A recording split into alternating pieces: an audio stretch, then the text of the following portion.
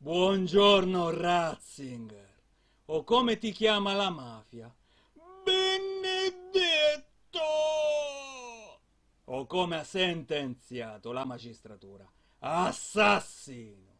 Nel giorno in cui stanno uscendo i retroscena più vili di quanto accadutomi in Francia 2015, come quella notte durante la quale la figlia di un ministro francese entrò nella mia stanza e mentre dormivo abusò del mio uccello. I suini dell'Opus Dei ammettono l'omicidio di Steve Jobs.